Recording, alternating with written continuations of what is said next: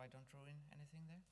Hi, uh, Maria Sigroth, as I said, as Henrietta said, and the Gothenburg region is a kind of odd organization, with, even in Sweden.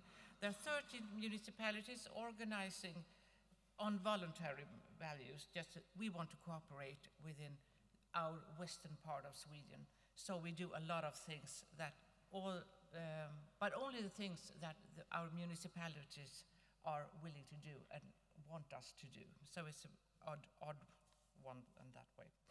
Uh, and we are, as Henrietta said, one of the uh, public sectors actors uh, in this uh, Gothenburg consortium. And we have been involved in starting and managing projects, processes, and networks related to diverse challenges facing the Gothenburg region.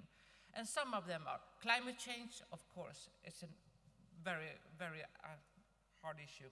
Social sustainability, transport, sustainability education, spatial planning, developing urban station communities, and I'm coming back to that one.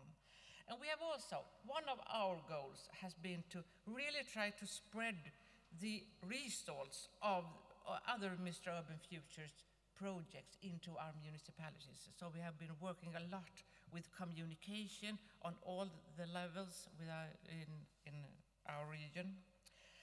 And our involvement in Mistra Urban Future is a logic one. We, we, have, uh, we are facing numerous sustainability challenges and we know we can't, we can't uh, deal with them by our own. We have to work together with researchers and other stakeholders in order to meet these challenges. And in my role as head of the department, I've been involved, uh, as Henrietta said, with project management committees and managing the Gothenburg region's strategic involvement in Mistra Urban Future. And as chairman in this uh, urban station communities, I have learned a lot about how to work to, and to get uh, the researchers and practitioners coming closer to each other. In this project, the researchers have been a part of the process, not just standing outside looking and reflecting. They've really been engaged in it and really been a part of the process. And it's like co-creation and co-production ERL in real life.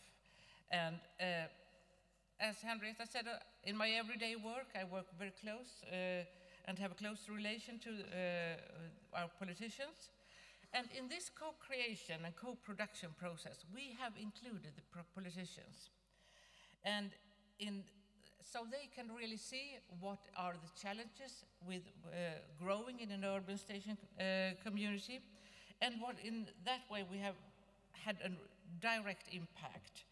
Uh, for example, um, the research-based urban planning and as our politicians have been a part of it, they can be, the plan is there too. They have a confidence in that this plan is real good for our municipality, for our region. And this is, uh, and I know that because I can stand for that because I have the researchers, I have my, my special planners, I have my transport uh, engineers, you have everyone in this. So it's kind of um, more uh, stable process with actually building a sustainable society. So that is one of the things we have learned. Uh, and more general, we have learned to think about things in another way. Uh, nowadays, my colleagues, uh, when they have they something, hear something about a problem or something that we ought to look more close into from our municipalities or from other stakeholders or from the national level, one of the most natural questions nowadays is, is this something for Mistra Urban Future?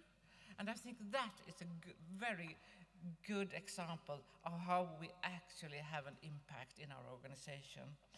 Uh, and I can also say that we have an, this awareness of the co-creation, and uh, that is not, not dangerous to ask a researcher. It's not dangerous to get closer to the academy. We have actually started a cultural revolution within our spatial planning. Uh, and the challenge in the future, I think, is to hold on to this co-creation, co-production, where everyone is involved and actually involved in the process. And I can also see, at least uh, from this uh, morning and from yesterday, we have a lot, a lot to learn from each other. So I really do hope that this is not the last time I can see all these people. Thank you.